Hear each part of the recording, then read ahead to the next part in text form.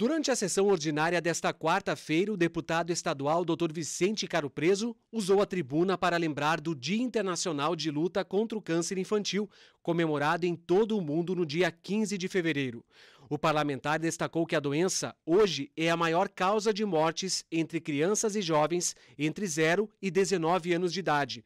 A data foi criada em 2002 e é uma forma de conscientizar a população sobre esses casos que, quando diagnosticados de forma precoce, têm mais chances de cura.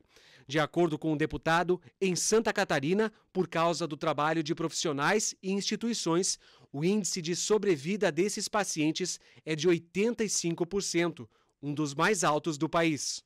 Alguns anos atrás, nós tínhamos uma eficácia de, de, de, tratamento com todo o arsenal terapêutico que tinha, tanto cirurgia, radioterapia, quimioterapia, enfim, né, e os meios diagnósticos garantiam uma 35% de sobrevida.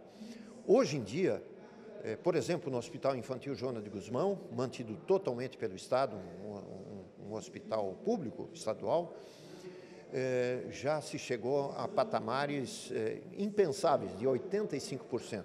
O deputado também lembrou do trabalho incansável da fundadora e presidente da Associação de Voluntários do Hospital Infantil Joana de Guzmão, a AVOS, Maria Gertrudes da Luz Gomes, conhecida como Vovó Gertrudes, e que faleceu em janeiro desse ano.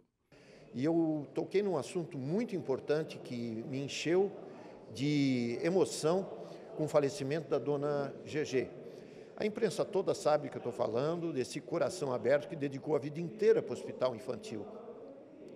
Então, é, quando eu era secretário de saúde em 2017, foi iniciado o, o novo ambulatório de, é, de oncologia infantil e, e já está funcionando. Né?